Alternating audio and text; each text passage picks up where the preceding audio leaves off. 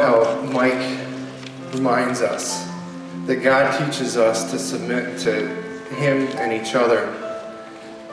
And He is blameless, good, and perfect. He's not of the, the broken world that we're so familiar with. And our view of submission is based upon the response to brokenness, as Mike said.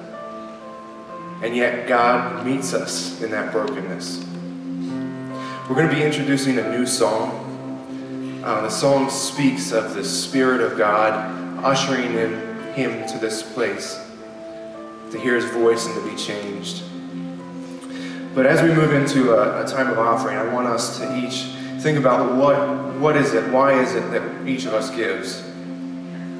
Some of us give for a specific reason, maybe a specific ministry, maybe even a specific person. Some of us give out of thankfulness, just out of God has given us so much. Some of us give uh, as a promise, as a, as a tithe to God. And for some of us, giving is difficult.